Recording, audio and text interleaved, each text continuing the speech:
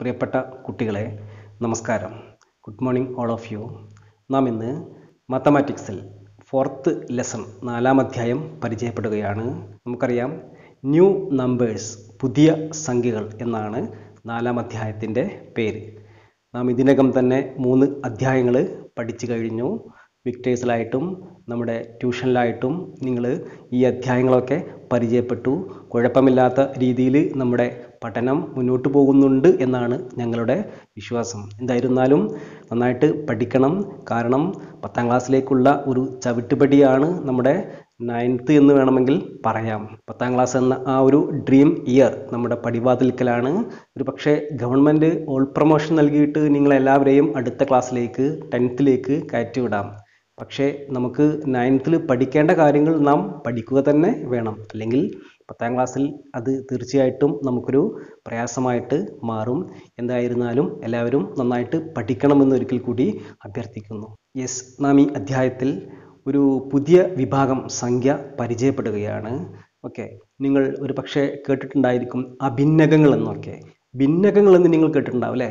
ഭിന്നകങ്ങൾ അഥവാ rational numbers എന്ന് നിങ്ങൾ കേട്ടിട്ടുണ്ട്. ഓക്കെ ഫ്രാക്ഷനൊക്കെ നിങ്ങൾ പരിചയപ്പെട്ടതാണ്. എന്നാൽ ഈ അധ്യായത്തിൽ നമുക്ക് ഇറാഷണൽ നമ്പേഴ്സ് അഥവാ അഭിന്നകങ്ങൾ എന്ന ഒരു പുതിയ വിഭാഗം സംഖ്യകളാണ് പരിചയപ്പെടാനുള്ളത്. നമുക്ക് ഈ പാഠഭാഗത്തേക്ക് ഇറങ്ങിച്ചെല്ലാം okay what is irrational numbers എന്താണ് അഭിന്നക സംഖ്യകൾ? നമുക്ക് അതൊന്ന് മനസ്സിലാക്കാം. Okay the irrational numbers are all the real numbers which are not rational numbers അതായത് ഭിന്നക സംഖ്യകളല്ലാത്ത സംഖ്യകളെയാണ് നാം എന്ത് വിളിക്കുന്നത്? അഭിന്നകങ്ങളെന്ന് വിളിക്കുന്നത്.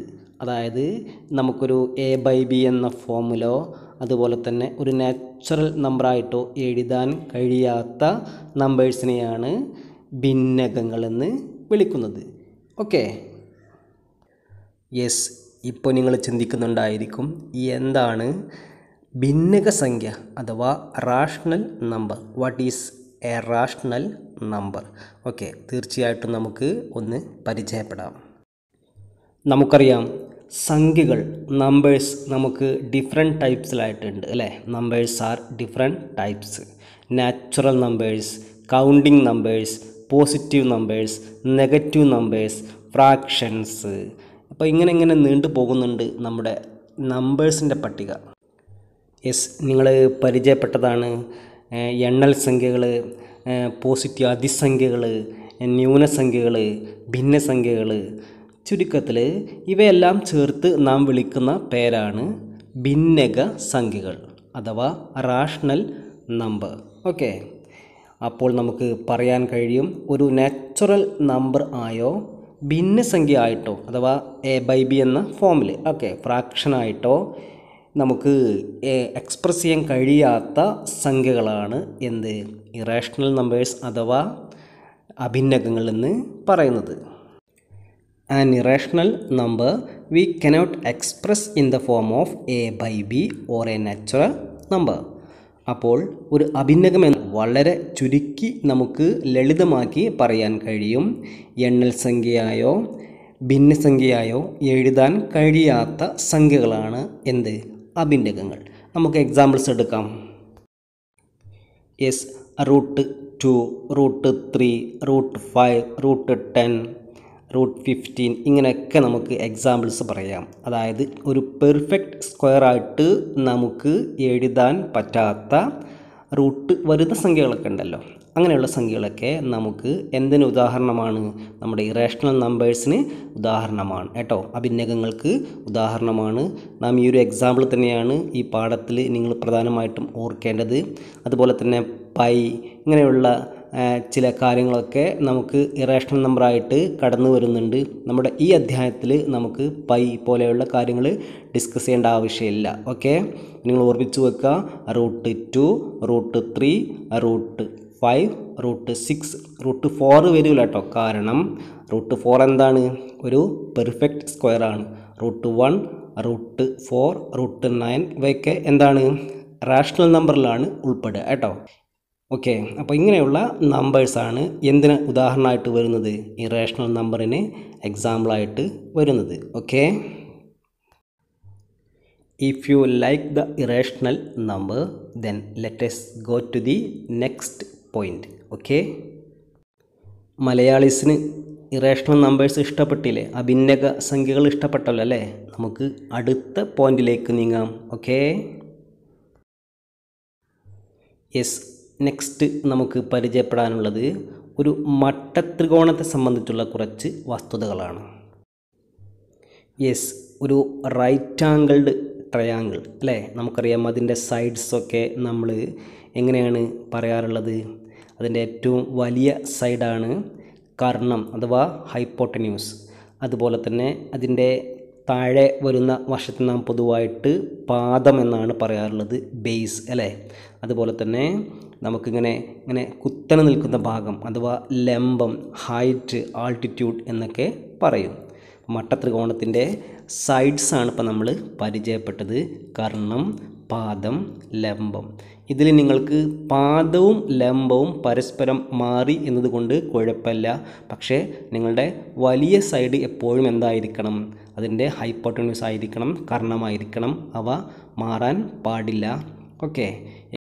യെസ് ഒരു റൈറ്റ് ആംഗിൾഡ് ട്രയാങ്കിളുമായി ബന്ധപ്പെടുത്തിയിട്ട് വളരെ ഫേമസ് ആയിട്ടുള്ള ഒരു തിയറി നമുക്ക് പഠിക്കാനെനിക്കറിയാം പൈതഗോറിയൻ തിയറം അല്ലേ? പൈതഗോറസ് സിദ്ധാന്തം.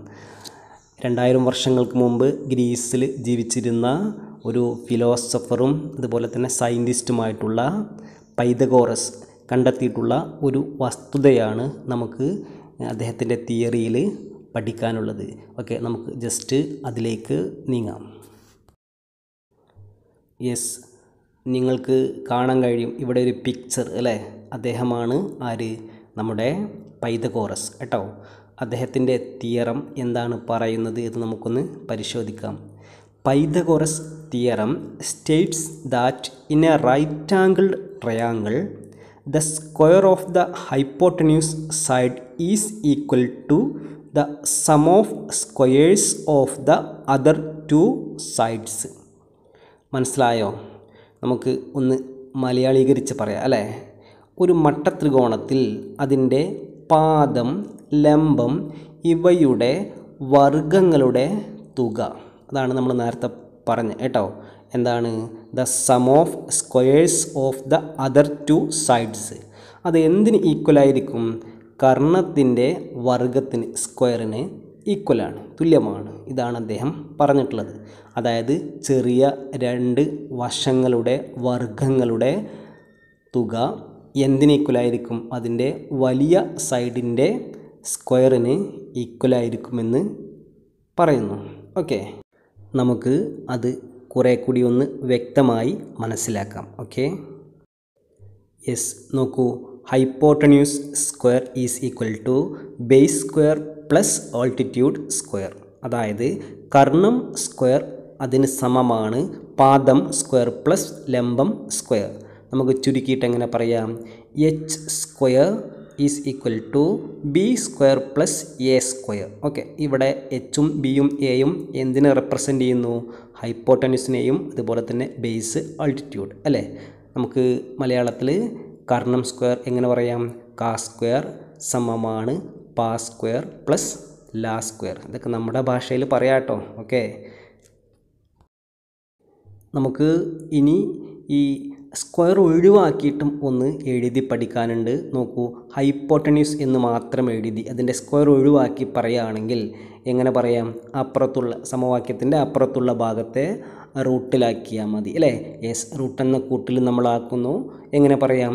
Hypotenuse is equal to root of base square plus altitude square മലയാളത്തിൽ കർണം സ്ക്വയർ സമമാണ് റൂട്ട് പാദം സ്ക്വയർ പ്ലസ് ലംബം സ്ക്വയർ ഓക്കെ ചുരുക്കി കൊടുത്തിട്ടുള്ള നിങ്ങൾ ശ്രദ്ധിക്കുക കേട്ടോ? യെസ് നമുക്കിനി ഒരു എക്സാമ്പിൾ എടുക്കാം. നോക്കൂ ഇവിടെ പി ക്യു ആർ എന്ന ട്രയാങ്കിൾ ഒരു റൈറ്റ് ആംഗിൾ ട്രയാങ്കിളാണ് അവിടെ അത് സൂചിപ്പിക്കുന്ന ക്യൂ എന്ന ആംഗിൾ റൈറ്റ് ആംഗിളായിട്ട് സൂചിപ്പിക്കാൻ മറന്നു പോയിട്ടുണ്ട് കേട്ടോ. ക്യൂ ആണ് റൈറ്റ് ആംഗിൾ അഥവാ ക്യൂ ആണ് തൊണ്ണൂറ് ഡിഗ്രി ആയിട്ട് വരുന്നത് കേട്ടോ.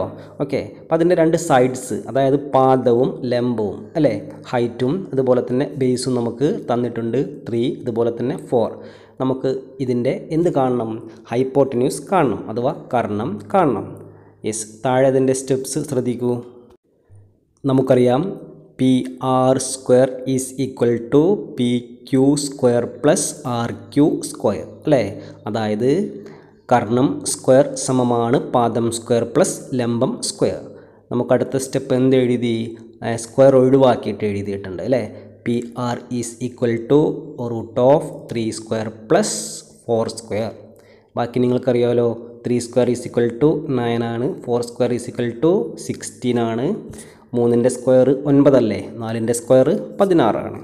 ഒൻപതും പതിനാറും അല്ലേ അവയുടെ സമ്മ് കണ്ട നമുക്ക് എത്ര വരുന്നുണ്ട്? Root twenty five root twenty five is equal to five ആണ്. അങ്ങനെയാണെങ്കിൽ P R is equal to five C M. Yes എത്ര എളുപ്പം കഴിഞ്ഞു അല്ലേ യെസ് നമുക്ക് മറ്റൊരു എക്സാമ്പിളും കൂടി എടുക്കാം. ഓക്കേ. യെസ് നോക്കൂ അനദർ എക്സാമ്പിൾ നമുക്കിവിടെ ഒരു റൈറ്റ് ആംഗിൾഡ് ട്രയാങ്കിൾ തന്നിട്ടുണ്ട്. Yes triangle A B C ഒരു റൈറ്റ് ആംഗിൾഡ് ട്രയാങ്കിളാണ് മട്ടത്രികോണമാണ്. നമുക്കതിന്റെ എന്ത് കാണണം? ഹൈപ്പോട്ടന്യൂസ് അതായത് ബി സി കാണണം. നമുക്കറിയാം B C square is equal to A B square plus A C square okay B C is equal to root of yes ഇതിന്റെ ഒരു സൈഡ് അഥവാ ബേസ് എന്നുള്ളത് എന്താണ്? റൂട്ട് ഫൈവ് ആണ്. റൂട്ട് ഫൈവ് ആണെങ്കിൽ root five whole square plus one square okay ഇനി നാം ശ്രദ്ധിക്കേണ്ട ഒരു പ്രധാനപ്പെട്ട കാര്യം എന്താണ്? റൂട്ട് ഫൈവ് എന്നുള്ളതിന്റെ സ്ക്വയർ എന്നുള്ളത് എന്താണ്? Root five into root five ആണ്. അതിന്റെ ആൻസർ എന്തായിട്ട് വരും? റൂട്ട് ട്വന്റി ഫൈവ് ആണ്. റൂട്ട് ട്വന്റി ഫൈവ് ആണെങ്കിൽ ഈസ് ഈക്വൽ ടു ഫൈവ് ആണ്. ഓക്കെ അപ്പോൾ നിങ്ങൾ ഓർമ്മിച്ച് വെക്കേണ്ട ഒരു പ്രധാനപ്പെട്ട കാര്യം റൂട്ടിനുള്ളിൽ നിങ്ങൾക്ക് ഒരു സംഖ്യ തന്ന് അതിന്റെ സ്ക്വയർ ആവശ്യപ്പെട്ടാൽ നിങ്ങൾ ആ റൂട്ട് ആ സ്ക്വയറും ഒഴിവാക്കിയാൽ മതി. ഓക്കെ? എത്ര എളുപ്പമാണ് അല്ലേ? Root ten is equal to ten ആണ്. ഓക്കെ? അപ്പോൾ root five whole square is equal to five. Then five plus one is equal to root six. Yes നമുക്ക് പറയാൻ കഴിയും ബി സി എന്ന സൈഡിന്റെ ലെങ്ത് എത്രയാണ്? റൂട്ട് സിക്സ് ആണ് ഓക്കെ? ഇടയ്ക്കിടയ്ക്ക് ഇടയ്ക്കല്ല എപ്പോഴും ഇങ്ങനെ കയറി വരുന്നുണ്ട് കേട്ടോ. ഓക്കെ ഓക്കെ ഓക്കെ എന്നുള്ള വാക്ക്. അത് എന്റെ ഭാഷയിൽ എന്താണ്? നിങ്ങൾക്ക് ക്ലിയർ അല്ലേ എന്ന് ഉള്ളതിന്റെ ഒരു രൂപമാണ് കേട്ടോ. അപ്പോൾ നിങ്ങൾ ക്ഷമിക്കണം. ഓക്കെ ദാ പിന്നെയും പറഞ്ഞു. ശരി നമുക്ക് ഇനി നമ്മുടെ ഒന്നാമത്തെ ക്വസ്റ്റ്യൻ പരിചയപ്പെടാം. ഓക്കെ?